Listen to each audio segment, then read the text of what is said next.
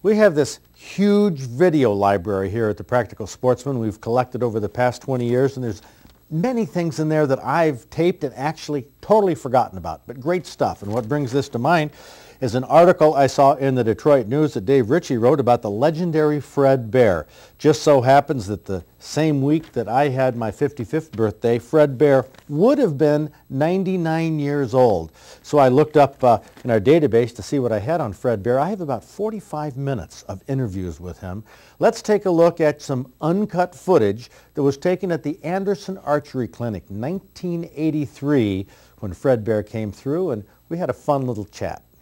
You might as well just roll it, and I'm just going to chat with Fred Bear. Yeah, okay. Okay. Okay, we'll just chat for a second and get into it. Fred Bear, how does it feel to be back home? Feels good.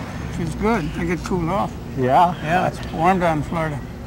I, I bet it's warm down there. Have you been uh, fishing up on the Ausable? Yeah, I was up there. Uh, I got up there Friday night and had Saturday, Sunday, Monday, Tuesday. What's that, five limits then you got? no? I got one small fish. It was raining and uh, somebody, I guess the Indians put on a rain dance or something. Ah. It was raining, miserable and cold, and there were no hatches. So, Well, those trout are really hard to hit with an arrow anyway. well. yeah, hard, hard to hit with an arrow. You can get pretty hungry doing that, I would guess. Yeah, well, you're, you're quite a fly fisherman, though. I'm just kidding about that. Yeah, I'm a fly fisherman. Yeah, we don't shoot uh, game fish, just rough Mm-hmm. fish, carp, suckers, you know, yeah, with a bow. Archery's changed a lot since you started in the business. When did you start? 1933. You Man. weren't born yet. No, I know it. Thanks. Were you, you were making longbows? You're making Oh, recurves? then? sure, yes. And we made recurves at that time. Yeah, yeah. That was about the beginning of the recurve bow in this country. Recurve bow is not new. The Turks made them thousands of years ago. Yeah, but uh, no, we made them in that time. Yeah. What, what about compound bows when they came in? Caused quite a furor and a lot of popularity. What do you think Well- about it, really? The first uh, compound bows that we saw were samples that were sent up here by the guy that invented them from uh, Holless uh, Allen from uh, Billings, Missouri. And uh, I thought they were terrible. Of course, his first bows were not good looking. Uh, one of them was made out of a piece of water pipe with uh, wheels on it. And uh, it was it's pretty discouraging. And then later, he made some uh, better looking samples. And uh, they were all right, but uh, I still couldn't. I, I always have had in mind the bent, beautiful bow. And a compound bow is anything but beautiful, in my opinion. This this this is the conventional type bow that I have here. This is your modern recurve, the Bear recurve. It has nice lines, yeah, and it- it's a takedown bow. But the common the, the compound bow is taken over, and uh, it's an easier bow to shoot. The the uh, weight drops off as you draw it back. This bow it gets tighter as you draw it back. The compound, the, the cams come into action, and it pulls about half the weight uh, when you get back full draw as it does at the beginning. So that's quite an advantage, yeah. Is that archery to you? Well, it's archery. Yeah, sure. You're shooting. You still have to do the, the same job. You have to draw all that weight, and only it gets easier to hold. But it doesn't have the romance? no, it doesn't have the romance. No. Well, it has wheels and cables on it. How about stringing up this bow? Show us the, the proper way to string. Well, the proper way to string is to step through it and bend it over your thigh and slip the string on. You Okay. got it like that.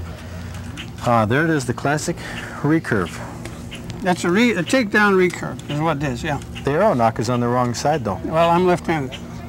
Yeah. I know that. I'm just pulling your leg. Okay. Left-handed. You shot all of these animals over the years. You've shot more big game animals with a bow than anybody. More records. I guess so. Yeah, yeah. I've had a lot of fun doing it. Well, Fred, when I got in the archery business, was in Detroit in uh, 1933. Uh, those were bad years. That was the beginning of the end of the worst depression ever. There were no jobs. And I got in the archery business. That uh, was Fred Bear, uh, a where we were revered man back in jobs. 1983. And at that Uh, an unconventional way of shooting, uh, sort of an unconventional attitude towards bow hunting. But he kept all of us in awe. Now, Fred had a great sense of humor. And a lot of people didn't know that. He exhibited that sense of humor at a banquet that we held in the fall of 1983 up at Houghton Lake in conjunction with a bow hunt. Fred was there. I was the MC of the banquet in the old Houghton Lake Playhouse, and we got a chance to see Fred Bear's sense of humor. Due to this one man, and we owe him an awful lot. We should pay him the highest tributes for coming up here. It's a grand honor to welcome Fred Bear.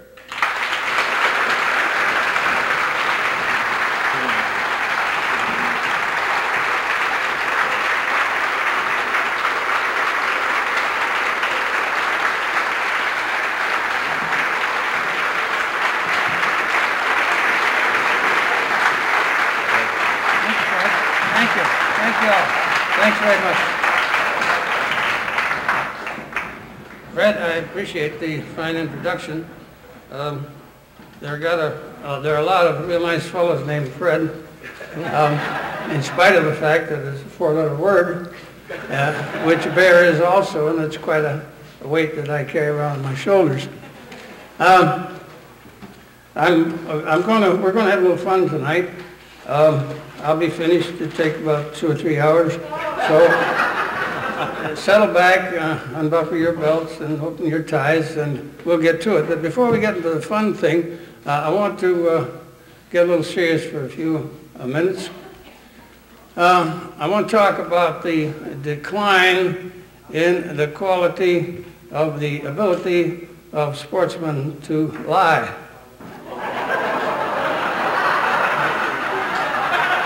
I'm, I'm, I'm, I'm real serious about this. When I was a kid, eh, if a fella said he caught a fish three feet long, you could bet your last dollar that it wasn't a bit over 12 inches.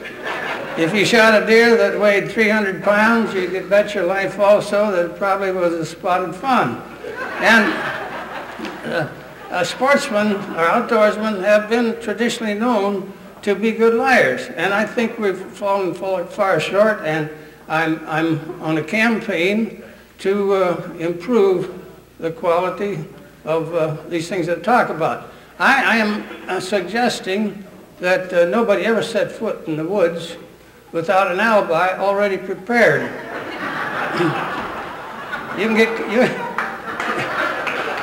you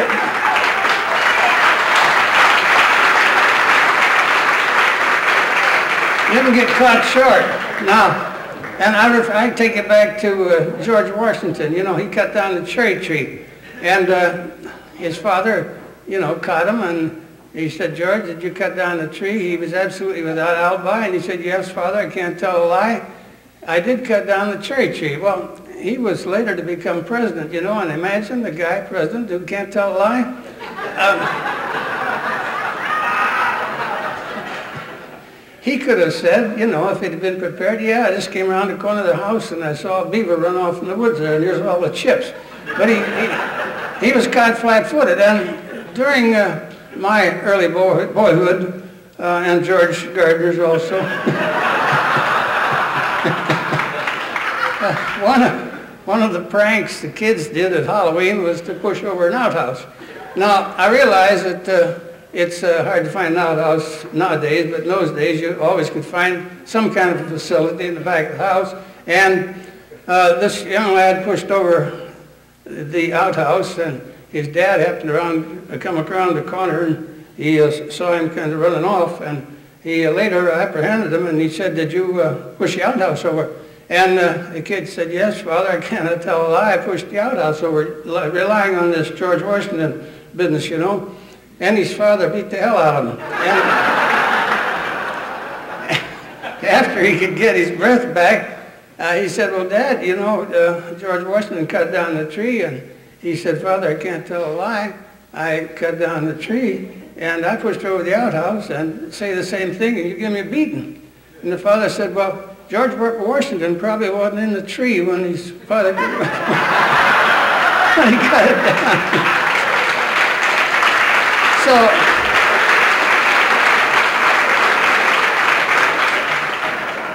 all right. Uh, so much for that. I hope you'll bear with me on there and, and uh, see if we can improve our ability to uh, lie better. We owe, we owe that. Okay. Fred Bear. A tall man, a great man, a pioneer among hunters, the original ambassador for bow hunting. He lived in a good era before hunting became such a controversy and before our DNR became such a political institution. Fred Bear embodies what hunting was and what hunting should be. A food gathering activity, honest recreation focusing on camaraderie and fun. And that's no lie. Four times before on a grizzly hunt at fall